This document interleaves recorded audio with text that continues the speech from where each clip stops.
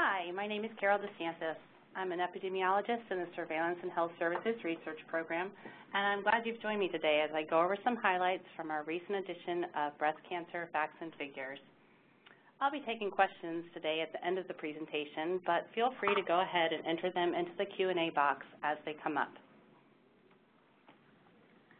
Breast Cancer Facts and Figures is one of eight service publications produced by the Surveillance and Health Services Research Program. It is published every other year in October. The report contains statistics on breast cancer incidence, mortality, survival and screening, as well as updated information on breast cancer risk factors, early detection, and treatment. The report can be ordered from Society Mart, and the PDF can be downloaded from cancer.org. We also published a companion article to the report in the CA Journal that contains additional information and statistics, including the breast cancer trends by hormone receptor status and state-level data on the percentage of breast cancers diagnosed at localized and advanced stages. The article can be downloaded for free at the journal's website. There are several types of breast cancer. An in situ diagnosis indicates that the abnormal cells have not spread beyond the area where they developed. Invasive breast cancers, on the other hand, are cancers that have broken through the ductal or glandular walls where they originated and grown into the surrounding breast tissue. More than 80% of in situ breast cancers are ductal carcinoma in situ, or DCIS. Not all DCIS are destined to become invasive, breast cancer. Studies suggest that about one-third and possibly more DCIS will progress to invasive cancer if left untreated. About 12% of in situ cases are lobular carcinoma in situ. LCIS is actually not a true breast cancer or even a precancer, but women with LCIS are 7 to 12 times more likely to develop breast cancer than women without LCIS. Breast cancer is increasingly considered to be not just one disease, but a group of diseases distinguished by different molecular subtypes, risk factors, clinical behaviors, and responses to treatment. Four main subtypes have been identified using gene expression profiles. They can also generally be defined by the presence or absence of estrogen receptors, abbreviated ER, progesterone receptors, PR, and human epidermal growth factor receptor 2, abbreviated HER2. Overall, luminal A is the most common type of breast cancer, and HER2 enriched is the least common. Basal-like breast cancer, which are mostly triple negative, are more common in black women, premenopausal women, and those with a BRCA1 gene mutation. ACS estimated numbers of breast cancer cases and deaths for 2013 are shown in this slide. Breast cancer is the most commonly diagnosed cancer in women other than skin cancer. More than 230,000 U.S. women are expected to be diagnosed with invasive breast cancer this year, and nearly 65,000 women will be diagnosed with in situ breast cancer. Breast cancer is the second leading cause of cancer death in women, following lung cancer. Nearly 40,000 women are expected to die from breast cancer this year. We also provide case and death estimates for several age groups. Most breast cancer cases and deaths occur among women over the age of 50, 79% of cases and 88% of deaths. This slide describes a cancer-free woman's risk of being diagnosed with breast cancer. The lifetime risk is 12.3%, or 1 in 8 women will be diagnosed with breast cancer during their lifetime. Lifetime risk reflects an average woman's risk from birth to death and includes the possibility that she may die of another cause before she would have been diagnosed with breast cancer. We also describe risk over a 10-year time period, for example, a 50-year-old cancer-free woman has a 2.3% chance of developing breast cancer before she turns 60. Another way to say that is 1 in 43 women aged 50 will be diagnosed in the next 10 years. Breast cancer risk increases with age. This slide shows incidence and death rates by race and ethnicity for the most recent time period white women have the highest incidence rate for breast cancer, followed by black women. However, the reverse is true for mortality. Death rates are higher in blacks than whites. Asian Pacific Islander women have the lowest incidence and death rate of any racial and ethnic group.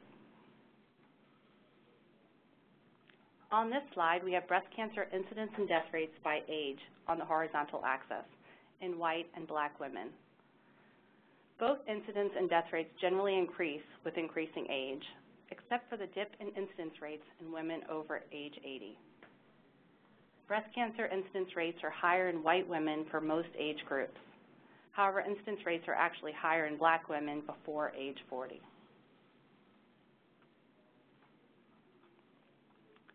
On the next two slides, I show geographic variation in breast cancer death rates in white and black women. This slide is the map for white women. For non-Hispanic white women, death rates are highest in the West, Midwest, and Mid-Atlantic regions of the U.S. New Jersey has the highest breast cancer death rate for white women, and Hawaii has the lowest. This map shows breast cancer death rates for black women. Data are not shown for states with fewer than 25 deaths over the five-year period. Death rates are highest for black women in some of the southern and central states. Tennessee has the highest breast cancer death rate, and Rhode Island has the lowest. In the report, there is also a table with state-level data on incidence and death rates for white, black, and Hispanic women for states with sufficient numbers.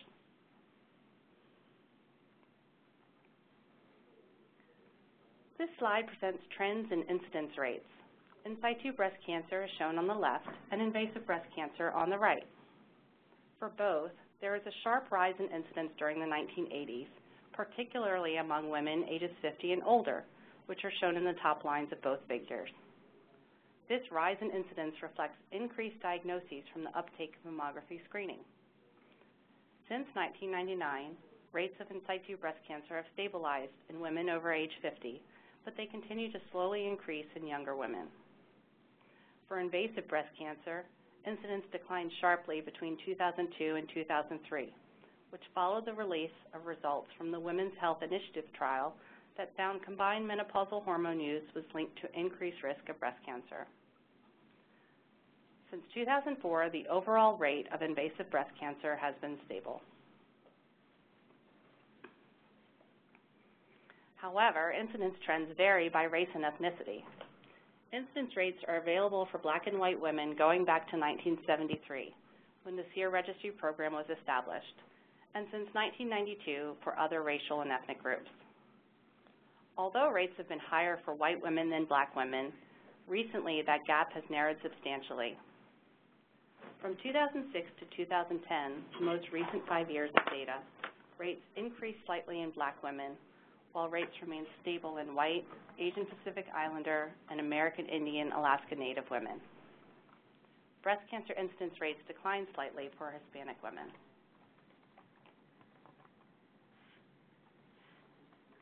Slide shows trends in breast cancer death rates by race and ethnicity. The overall breast cancer death rate has dropped 34% from 1990 to 2010. The decline has occurred in all racial and ethnic groups, except for American Indian Alaska Native women. Despite these declines, the gap in death rates between black and white women has widened over time, and breast cancer death rates are now 41% higher in blacks than whites. Two of the reasons for the breast cancer mortality disparity between black and white women are that black women are more likely to be diagnosed at later stages, and they have poorer survival in every stage of diagnosis. In the top figure, the graph shows that only 52% of breast cancers are diagnosed as local stage in black women, compared to 62% among white women. A greater proportion of breast cancers are diagnosed as regional or distant stage in black women, which means the tumors are larger or have already spread. When breast cancer is caught early, survival is very good, 99% in white women and 94% in black women, as shown in the lower figure.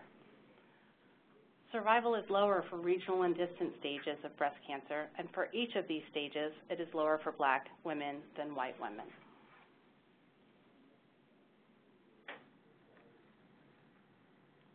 This figure shows how breast cancer survival has increased over time. Yet as we saw in the previous slide, survival remains lower in black women. The disparity is largely thought to reflect differences in socioeconomic status, which limits access to early detection, diagnosis, and treatment. Black women are also more likely to be diagnosed with more aggressive and harder to treat forms of breast cancer, including triple-negative breast cancer. Breast cancer survival rates for additional racial groups are provided on this slide. On the previous two slides, we showed relative survival, which compares the survival of breast cancer patients to women of the same age and race without breast cancer. In this slide, we show cause-specific survival, which is the percent of breast cancer patients that have not died from breast cancer. We use cause-specific survival because we do not have data on normal life expectancy for these additional racial groups. Breast cancer survival is highest for Asian women, particularly Japanese women have the highest survival rate. In addition to all of this data, the report also provides information summarizing the current research on breast cancer risk factors. This slide contains a list of the major risk factors for breast cancer. Many of these are thought to influence breast cancer risk by affecting the lifetime exposure of breast tissue to hormones, including early menarche, late menopause, obesity, and hormone use. Some of these factors are more strongly associated with risk, such as the presence of a BRCA1 or 2 gene mutation and high breast density, while other factors, such as alcohol use, are associated with small increases in risk. Obesity is an interesting factor because it increases the risk of developing breast cancer after menopause, but is actually associated with lower risk of breast cancer before menopause. This may reflect the fact that, as I discussed earlier, breast cancer is actually made up of several subtypes. The majority of known risk factors are most strongly linked to the hormone receptor positive luminal breast cancers. Understanding risk factors for the less common subtypes is an active area of research. We also reviewed several factors that have not been found to be associated with breast cancer risk. Although many studies have and continue to examine the relationship between diet and breast cancer, there is currently no conclusive evidence that diet influence, influences breast cancer risk. It is important to note that many women with breast cancer do not have any known risk factors. Also, there are many women with multiple risk factors that do not develop breast cancer. Although many of these factors are not modifiable, some are, and provide strategies for women to try and reduce their risk of breast cancer. These strategies include maintaining a healthy weight, being physically active, not smoking, minimizing alcohol use, breastfeeding for a year or more, and avoiding or limiting the use of menopausal hormones. In addition to these health strategies, ACS recommends that women should begin regular mammography screening at age 40. It is also recommended that women receive a clinical breast exam, preferably before their annual mammogram. For a small group of women at particularly high risk of breast cancer, ACS recommends screening with MRI in addition to mammography. Mammography can detect breast cancer before it can be felt randomized controlled trials concluded that mammography lowers the risk of breast cancer death by at least 15 to 20 percent.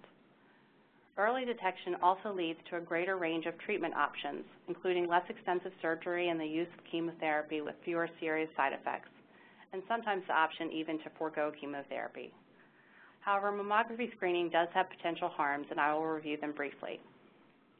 First, the risk of false positive results. Sometimes mammography leads to follow-up exams, including biopsies, when there is no cancer. This is known as a false positive. About 10% of women are recalled from each screening exam, but only 5% of these women will actually be found to have cancer. 95% of the recalled women will have a false positive. Overdiagnosis is the detection of breast cancer that would not have progressed or otherwise be detected had a woman not undergone screening. Estimates vary greatly on the extent of overdiagnosis that occurs with breast cancer.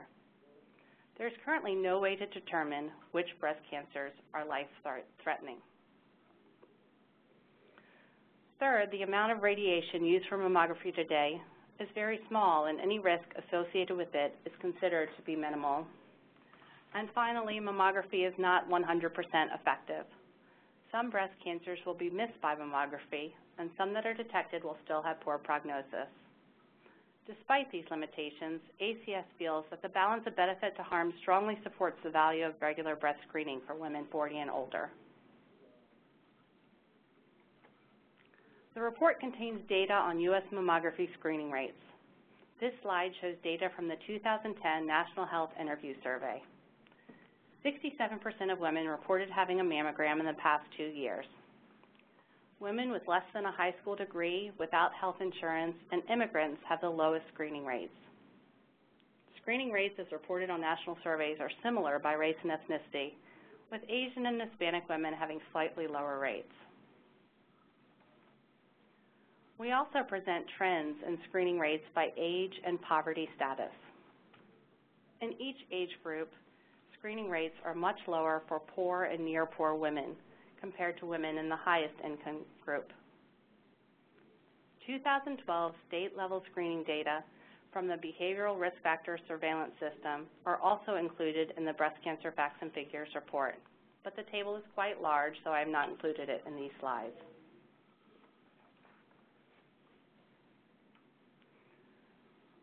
We also provide information on breast cancer treatment. Most breast cancer patients will have some type of surgery, which is often combined with other treatments such as radiation therapy, chemotherapy, hormone therapy, and or targeted therapy.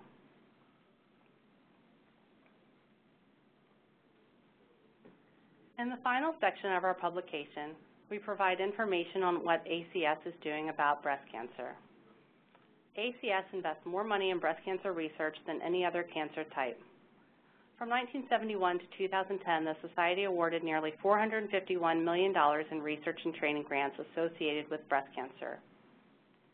Recently, ACS has changed how it reports funding by cancer type. Since 2011, the Society has awarded another $46 million in breast cancer research. We also provide examples of currently funded breast cancer research grants and a summary of recently published breast cancer research by our intramural research programs. Finally, we review ACS CAN efforts related to breast cancer policies and funding. I would like to take just a moment to acknowledge and thank all of the people that have contributed to this report. The production of Breast Cancer Facts and Figures is a collaborative effort and involves ACS staff across numerous departments as well as the contributions of external experts. Thank you so much for sharing your time with me. I have time now to take a few questions, and also please feel free to email or call me if you have more detailed questions. Thanks. Does anyone have any questions?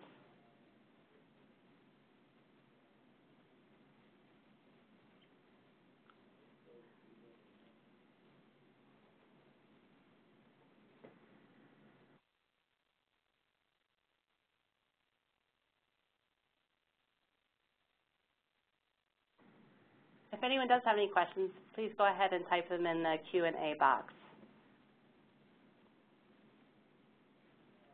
I'll wait just a moment.